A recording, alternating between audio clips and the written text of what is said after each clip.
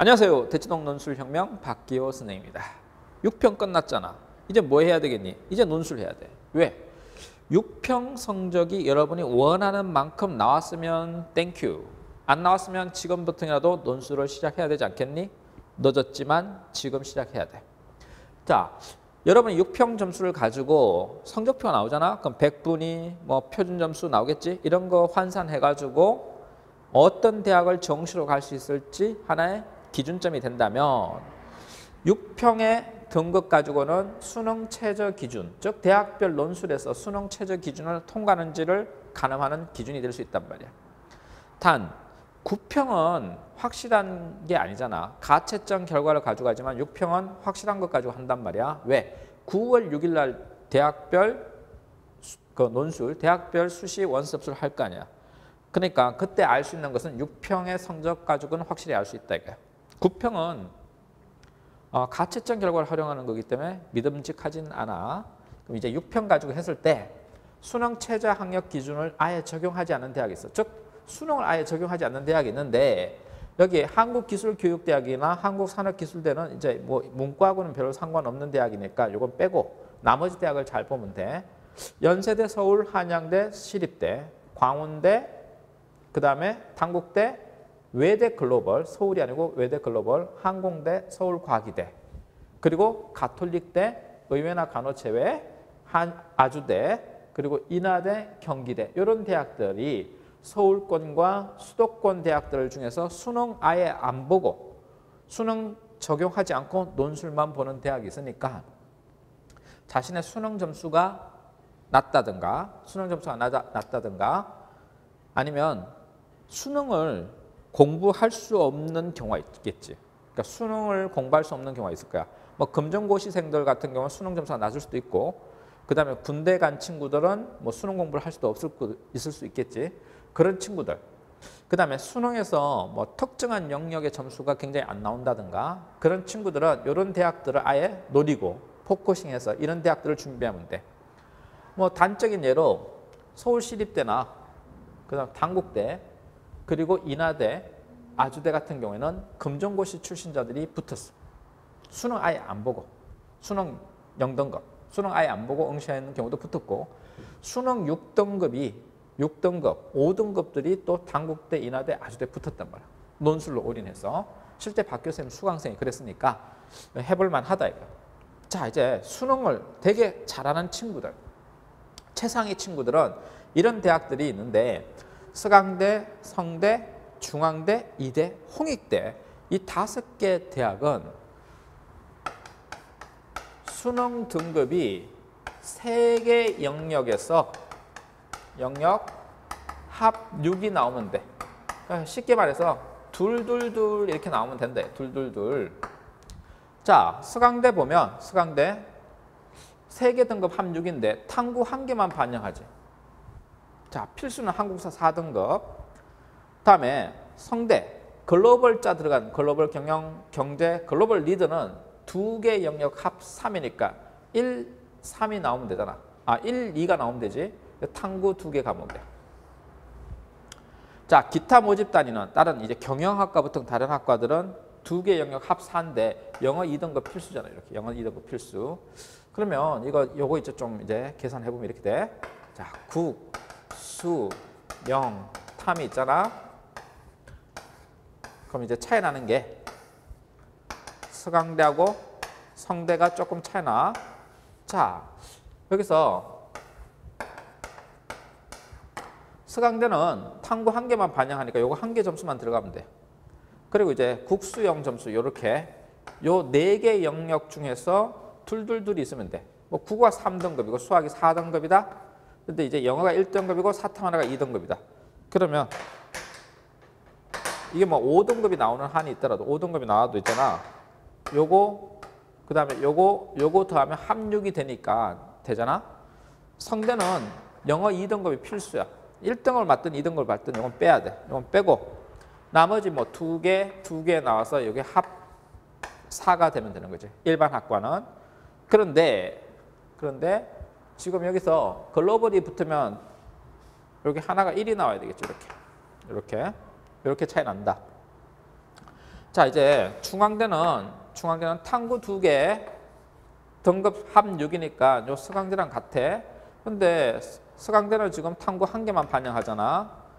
자 그러니까 요 탕구 두 개를 반영하는 대학은 평균 내는 대학은 성대하고 중앙대고 나머지는 전부 다 탕구 한 개씩 반영하지. 이렇게 이화여대 그리고 홍익대.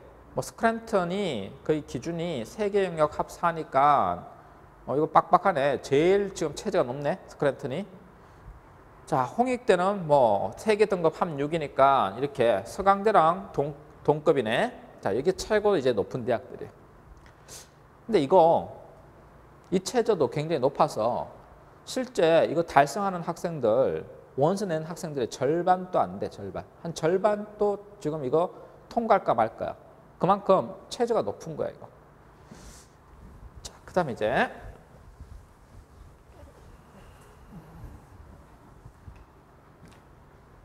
이제 최저가 두 개 2등급인 학교야. 두 개 등급 합 4가 되니까 둘둘 나오면 되잖아.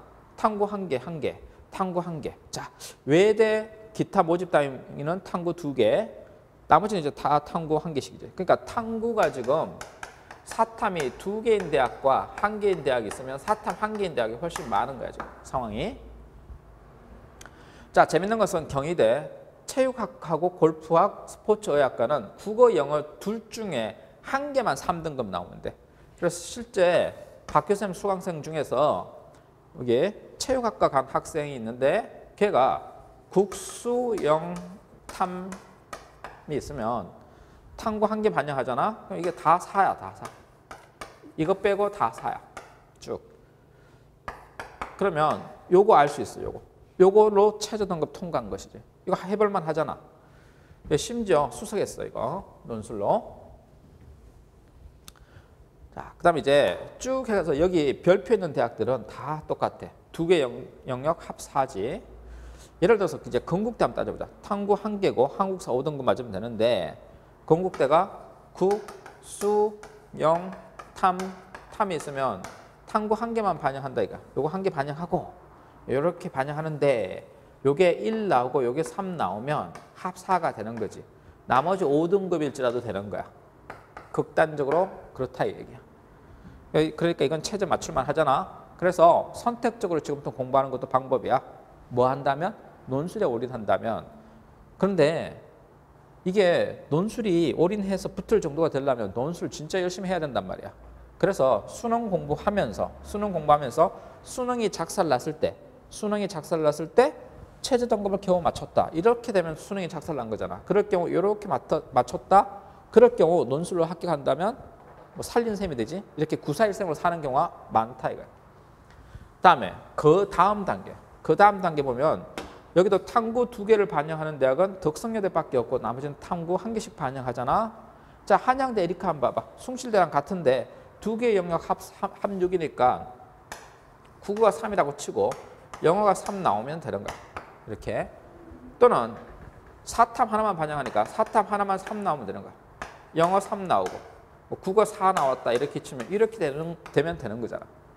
덕성여대도 마찬가지. 두 개 합 6이잖아. 자 여기 가톨릭 때도 두 개합 6이야. 여기는 성신여대는 세 등급 합7이니까 조금 더 높네. 그지? 세 등급 합7이 되려면 자 이거 합7 만들면 3, 2, 2 이렇게 나오면 합7이 되는 구조잖아. 그러니까 이제 성신여대는 좀 까탈스럽네. 거기에 비하면 다른 대학에 비하면 자 비수도권 대학, 부산대, 경북대 세계 영역 합 6이니까 뭐 세계 등급 합 7이니까 자, 요거 세계 영역 합 6, 그러면 둘, 둘, 둘이고 둘, 둘, 3이고 탐구 두 개니까 부산대가 체제가 굉장히 높은 거네. 경북대도 세계 등급 합 6이고 요 탐구 한 개니까 부산대에 비해서는 조금 쉽다 이거. 세계 등급 합 8이니까 이거는 뭐 둘, 3, 3 이렇게 나와도 되는 거잖아. 그 다음에 연세대 원주 캠퍼스 같은 경우 두 개 등급 합 6이네. 그러니까 3, 3 나오면 되고 간호학과는 체제가 높다. 그지? 등급 합 4가 돼야 된다. 자, 지금까지 지금까지 수능 체제 등급을 살펴봤는데 인문계 논술 전형에서의 수능 체제 등급을 살펴봤어. 그러니까 지금이라도 논술을 시작하란 말이야. 시작하는데 앞에 공부한 애들이 있을 거 아니야. 1월 달부터 논술하는 애들이 있는데 그거 따라가기 쉽지 않을 거라고. 얼마만큼 해야 되겠니? 정말 열심히 해야 된다고. 정말 열심히 해야 되는데 자 명심할 거는 뭐냐면 이제 선택해야 돼. 수능 공부를 하되 논술을 부가적으로 할 것이냐. 그럼 부가적으로 할 거면 얼만큼 열심히 해야 되느냐. 진짜 열심히 해야 된다. 수능을 적고 논술로 간다면 논술 올인한다면 정말 얼만큼 해야 될 것이냐. 수능 없는 수능 체제가 없는 대학을 간다면 이런 선택의 기로에 있을 거란 말이에요. 그걸 잘 판단해 가지고 해보란 말이에요. 육논술 하기 전에 생각해야 될 게 뭐냐? 논술로 합격하려고 하면 정말 논술 공부를 많이 해야 돼. 진짜요. 그리고 이게 처음 몇 달 해가지고는 늘고 있는지 안 느는지 몰라. 야 수학이나 예를 들어서 수학을 니네들 3개월 한다고 수학 점수가 달라지니? 야, 그 기초 쌓느라고 정신 없잖아. 논술도 마찬가지야. 처음 3개월 동안은 계속 밑바닥에서 도는 거야. 그러다가 갑자기 팡 터지는 거야. 그래서 시간 투자를 할 수 해야 된다고. 그래서 시간 투자도 하지 않고 일주일에 한 번 하는 걸로 논술 했다고는 말하지 말라고. 자, 지금부터 이제 결단의 시기가 온 거야. 6평 점수를 가지고 냉정하게 판단해서 논술로 올인할 것이냐 아니면 수능으로 가고 수능으로 가되 논술을 보험으로 사용, 활용한다면 어떻게 할 것이냐 이걸 판단해 보란 말이에요 아니면 아예 논술을 하지 말고 수능으로 올인 이렇게 하는 것도 방법이지. 여러분이 판단할 문제고 박 교수님은 여러분이 합격하기 위해서는 어떻게 해야 될지 정보를 주고 여러분을 도와줄 거라고 스포트 할 거라고. 자 여기까지 박기호 논술입니다